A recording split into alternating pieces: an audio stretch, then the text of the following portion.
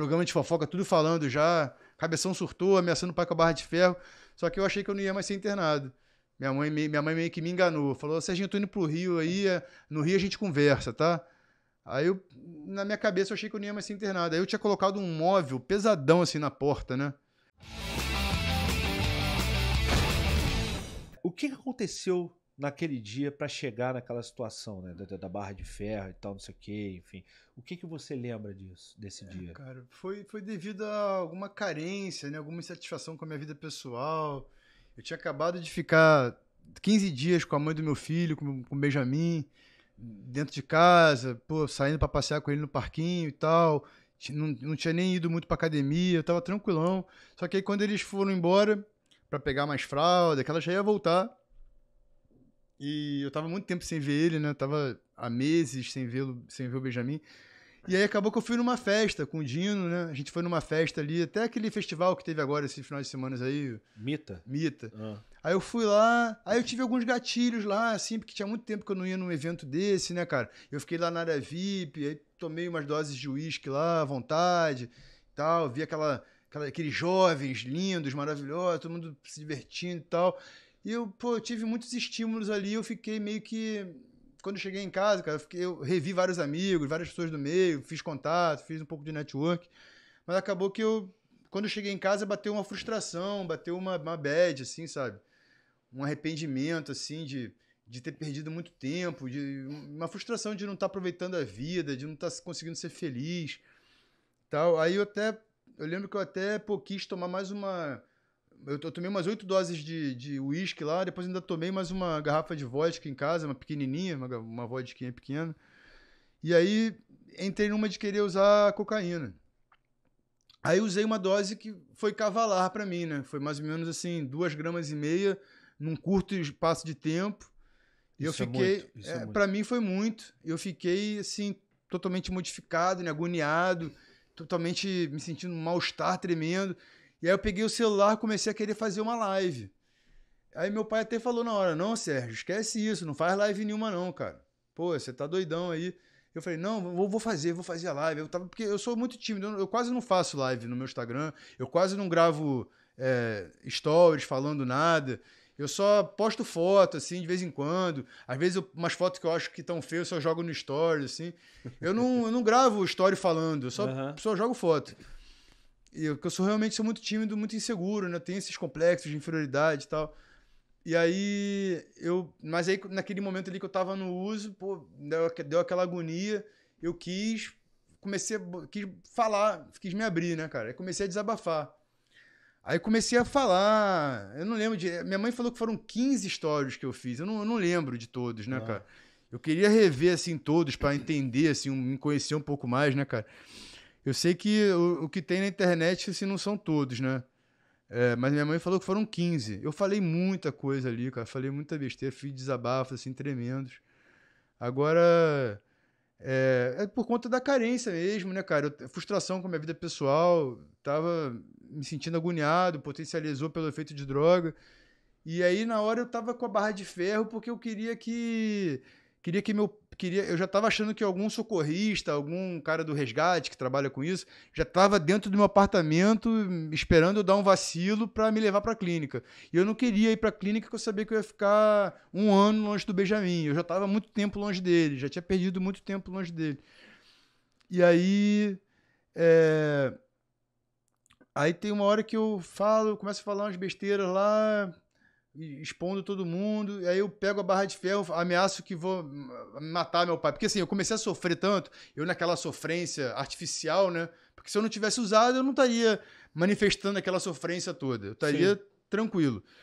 Mas aí, como eu tava com aquele desgaste emocional, aquela coisa, aquele, aquele né? senso de injustiça, que não, que pô, minha vida não tá dando certo, é uma injustiça, isso que acontece comigo, essas internações da revelia, que ah, eu lembro que um dos, do, dos temas da, da, assim, uma coisa que eu falei muito, a tecla que eu bati muito, que, que eu não conseguia mais recair em paz.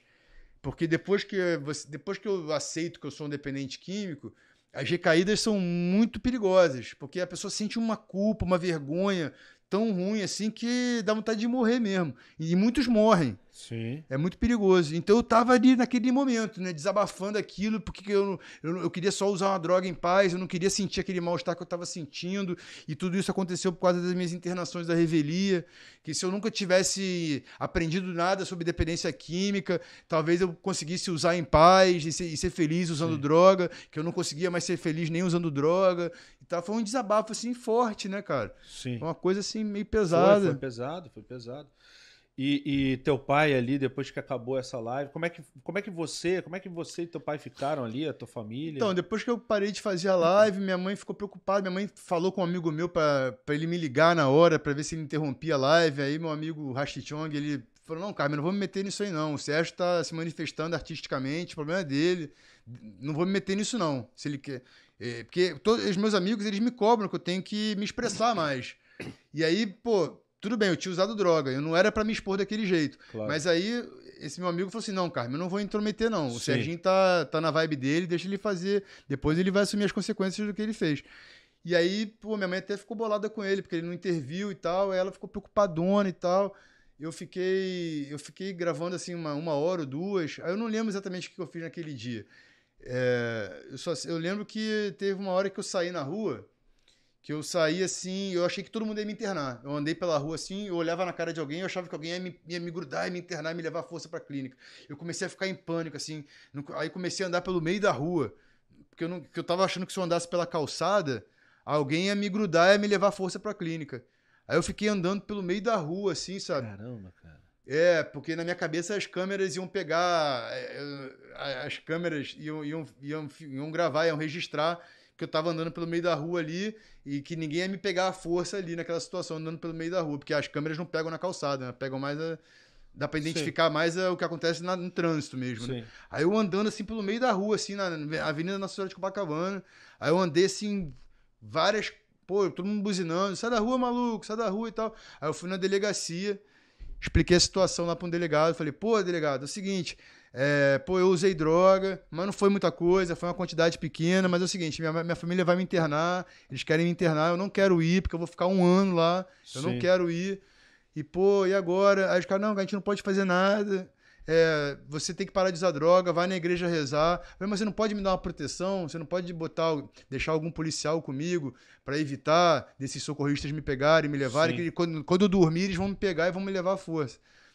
Aí não, cara, a gente não pode fazer nada. O máximo que a gente pode fazer é você ligar pra, pra polícia na hora que chegar o resgate. Mas aí não dá tempo, porque você liga, a polícia demora a atender, não, não atende na hora, né? É complicado.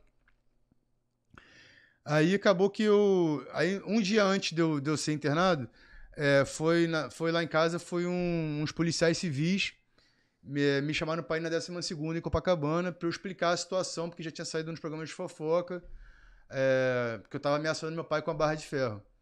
Aí eu fui lá, falei com o delegado, ou com o escrivão, não lembro, expliquei para eles que eu tinha usado uma dose mínima, que eu tinha usado alguns remédios que potencializaram também, estimulantes, e que aí, por isso que eu fiz a live e tudo, mas que, que, eu, tava, que eu tava bem, tava em paz, que eu não queria ir pra clínica, que eu não queria, me, não queria um tratamento, assim, de clínica mesmo, que eu ia conseguir contornar essa situação sozinho.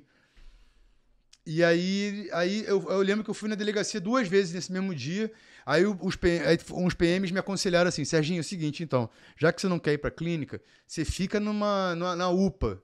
Fica na UPA, fica uma semana ou dez dias na UPA, fica o tempo que for na UPA até a poeira baixar. Porque é o seguinte: se você sair da UPA, a tua família vai te internar. Se você for pra casa, a tua família vai te internar. Você sabe como é que é, né? Então, se você não quer ser internado, você fica na UPA. A gente vem aqui te ver todo dia, tal. Você fica aqui na UPA. E a gente vai vindo te visitar pra ver como é que você tá. Você fica tomando café, almoçando e jantando lá.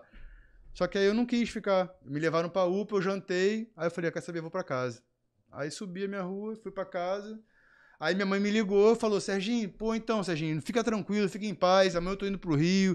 Aí eu já liguei pro meu filho também, falei com a mãe do meu filho. Ela falou que ia lá pra casa também.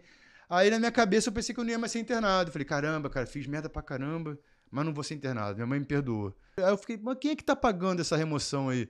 Porque os caras com uniforme, assim, né? Eu falei, é, é ambulância? Os caras, é ambulância. Eu falei, quem é que tá pagando essa remoção aí? Os caras, não, quem tá pagando essa. Você quer ganhar dinheiro no YouTube?